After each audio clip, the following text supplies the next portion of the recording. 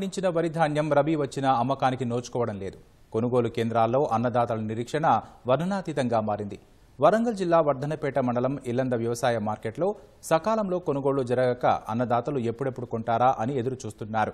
పండిన పంటకు గిట్టుబాటు ధర అంటూ ఉంచితే మొత్తానికే కొనుగోలు జరగలేదని వచ్చే పంటకు పెట్టుబడి ఎలా పెట్టాలని ఆవేదన వ్యక్తం చేస్తున్నారు. వర్ధన్నపేట సహా రాయపర్తి పర్వతగిరి సంగెం ఐనవోలు మండలాల్లో మక్కలు వరిధాన్యం కొనుగోళ్ళు నత్తనడకన సాగుతున్నాయి. వరి కోసి నెల రోజులు అక్కడ కళ్ళంలో పదిహేను రోజులు పోసినాం మార్కెట్కి వచ్చి ఇరవై రోజులు.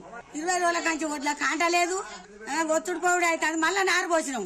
ఏం చేయాలో చెప్పుకుంటారు మీరు మళ్ళీ పెట్టుబడి లేదు. కూలీలు పిలుస్తారు అందరు వరి కోసినోడు వస్తాడు ఒడ్డు తోలినోడు వస్తాడు పొలం దున్నోడు వస్తాడు మేము ఎట్లా బతకాలని.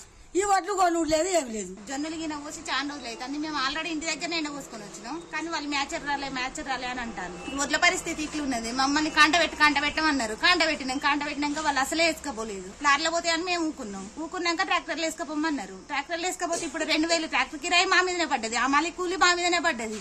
ప్లస్ మళ్ళా కింటా ముప్పై కిలోలు కోసేసారు మరి ఈ రైతుల కష్టం ఏంటి? మక్కలు తెచ్చి ఇప్పుడు ఇరవై రోజులు అవుతాయి అని తెచ్చి ఇప్పుడు మూడు రోజులు అవుతాయి దానికి ముద్దరే అన్నాడు. చీర ఆఫీస్ నింబాలు వేసినాం నిన్న కాంట పెడతాం నిన్న పెట్టలే. ఇదే బిల్డింగ్లో నేను ఉన్న బిల్డింగ్లో మాట్లాడే కదా.